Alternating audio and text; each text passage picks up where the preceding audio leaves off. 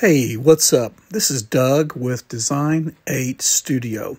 Lots of makers and others know that high density polyethylene is a great material to use for various things. And lately, several V1 engineering makers have been looking at using high density polyethylene sheets to make enclosures for the mostly printed 3D printer. And I happen to have some half inch thick, which is really thicker than you need, uh, scraps of high density polyethylene left over from uh, one of my earliest CNC jobs. And so, if you've ever tried to machine it to either cut profiles or pockets or otherwise machine details into it, you know that cutting HDPE can be a little bit difficult. uh, unless you've got your speeds and feeds right. And uh, I want to show you how to get nice fat chips really uh, succeeding in cutting it and explain why oftentimes the cut efforts fail so miserably. First off, let me say that I speak from experience. Uh, so many times in videos like this, you'll hear me or somebody else say, Ask me how I know. And whenever we say that, obviously, we mean that during some previous lack of wisdom or some previous mistake or some previous uh, lack of knowledge, that we did something that didn't work out. And so we speak from experience. And many times when we say, Ask me how I know, what we really mean is, I'm embarrassed to admit it, so don't ask me about it. But one of the earliest jobs, matter of fact, I think it was the earliest job, the very first client paying job I had after building a lowrider version 2 was the client wanted signage for uh, their foyer area made out of half inch black high density polyethylene, HDPE. And so, talk about jumping in the deep end of the pool uh, without knowing how to swim. I was cutting something that, of all the things you can cut, HDPE is not very forgiving on not having the feeds and speeds right.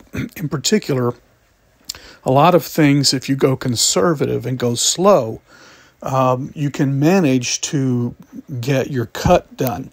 But if you go conservative and go slow with HDPE, you wind up with a nightmare.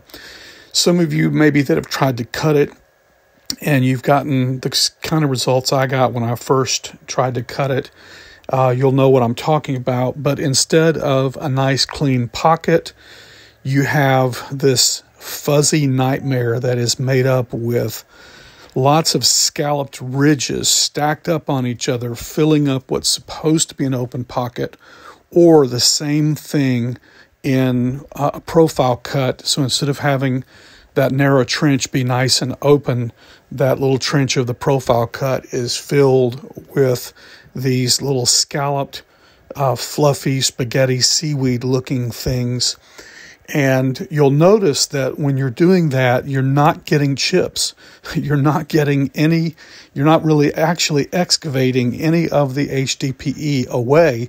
You're just converting it from nice smooth to this scalloped, rough seaweed looking mess that clogs up what you're trying to do and it's actually still attached. It's not loose and can be pried out, it's still attached.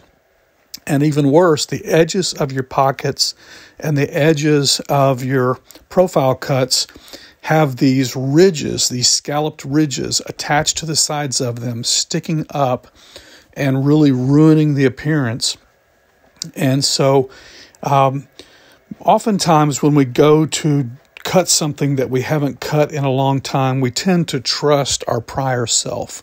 We look up the history of, okay, what kind of feeds and speeds did I use last time? And honestly, uh, when I realized that I had enough scraps of HDPE left over to make these enclosure panels for not just one, but two mostly printed 3D printers, I kind of temporarily forgot uh, what a headache I had trying to cut it the first time with just when I was just a newbie and just total lack of experience. And so I, this time I made the mistake of trusting my former self. I looked up the feeds and speeds I used before and launched into trying to cut it with that. And then as soon as I saw the scallop seaweed mess, I knew, oh no, I've forgotten what I had learned previously. And so I had to back out of that and go fix the feeds and speeds. And so I want to show you here, first of all, one of the great things I've done since then is to get a tool that helps me to know what kind of feeds and speeds to go with. And so I'm using the GWizard Machinist Calculator. And of course, GWizard stands for G Code Wizard. So I'll show you on the screen here. You go to your uh, tool crib and you create a tool, uh, and you see in the upper right hand corner, the tool is a 1 8 inch carbide one flute end mill. And this one flute end mill is really good for cutting plastic. The one flute is really huge and, and open, and it's often called an O flute because it's so open it looks like an O making its way around the bit as it goes up. And so you go into the tool crib, you add your uh, your tool that you're going to use. In this case, an, an O flute is great for plastic, and it really shoots when it's when the feeds and speeds are right. This thing really projectile forces the excavated HDPE up out. I mean, it will cover your entire table and area with these nice fat chips of excavated HDPE that look basically like small grains of rice and sometimes even uh, long grains of rice. Uh, and so you then you go to the feeds and speeds tab, and in the upper right you choose the tool. You first have to choose your default crib, then you choose the tool that you've selected, and then you put in your uh, depth of cut, and this is the step down depth of cut. Uh, in other words, each pass would cut this amount. You'll see that on the left side a little ways down. So I put in a depth of cut of 2 point. I started with 2.3 millimeters and then I put in 2.8. And the cut width, uh, basically, you're just going to put in the width of your uh, end mill in this case, it's 1 8th of an inch, 3.175 millimeters. And then for a 1 8th inch end mill, you're looking at, you know, around 24,000 RPM. So you put 24,000 in, and it tells you for that bit that you're in 70% uh, of capacity. You're looking good. That slider thing under the results shows as green and a good ways over. Then, just to the right of that, you start putting in your feed rates. And previously, I had this horrifically conservative feed rate that was just way, way too low, something like 15 millimeters per second. And so you start putting in a little bit more aggressive because that little green slider under the feed rate is showing way, way far over to the left, way, way too conservative. And here's why too conservative really totally butchers what you're trying to do with HDPE. In a, in a conservative feed rate, instead of cutting the material at a nice brisk rate so that the cut chips can keep your tip, your end mill bit cool, so that you have cool plastic being firm and being cut instead of warm, soft plastic that's shying away from you and not being cut. Uh, when you when you set your feed too slow, your feed too conservative, then your bit is actually rubbing the plastic instead of cutting it. It can't get in deep enough and fast enough to actually cut the plastic, so it's just rubbing it. It's getting the plastic very hot very quick. It's getting the bit itself very hot very quick. And so that soft, hot HDPE plastic isn't firm and being cut. It's it's almost kind of molten and semi-liquid at this point, and it's just shying away from your bit and basically getting deformed into these scalloped, uh, ruffled ridges that just keep stacking up in these layers. And so The only bit of kind of math that I have to do is because my Estlcam software is set for millimeters per second and the G Wizard is set for millimeters per minute. So I keep having to do this divide by 60 thing, but it's not complicated math. And so I saw that 24,000 RPMs was sitting at 70%. You see it there on the left, the green slider. And so I figured I would keep pushing the feed rate amount up until it got to uh, close to 70%. And so that was 5,000 millimeters per minute. And that got me real close to 70%. And let me say that so many times while using the GWizard calculator, I was so impressed with the speed it was telling me that I was capable of doing. And then I was pleasantly surprised to find out that the lowrider, whether it was a lowrider 2 or a lowrider 3, was actually capable of giving me those speeds. And so I encourage you to get a tool like this and be a little bit aggressive. So uh, once I switched my feed rate up to that 5,000 millimeters per minute, which when I did the divide by 60 thing and come over to setting up my tool in Estlcam, uh, that winds up being 83.3 millimeters per second for the feed rate. Um, and I jumped up the plunge rate also accordingly. Uh, I just began to get just phenomenal results, really great results in getting this. And the only challenges I had then was that um, I've still got uh, basically a not flat table. And so uh, I'll set the depth uh, in Estlcam, and then when it's finished, my part won't be perhaps not completely cut out because there was a part of my table that was a little too low and I didn't get all the way to the bottom of the material. Which, in the case of HDPE, is not a horrible end of the world type situation if you've already started taking things apart because just with a sharp X-Acto knife, you can slice through that last little bit of HDPE. And the chisel uh, for cutting through the tabs, the chisel does a pretty good job of cutting through those tabs in a nice, smooth way. And so I just, uh, this job is a little bit frustrating because some of the engraving of the V1 logo and my Design 8 Studio logo was done on that earlier pass when I had the feeds and speeds too conservative and they had that scalloped seaweed looking uh, effect on them. And then some of the logo cuts were of nice crisp quality after I got the feed rate up to where it needed to be. But the bottom line is that I got the enclosure panels uh, cut and they're looking great. And so I, eventually I'll get the mostly printed 3D printers, two of them put together.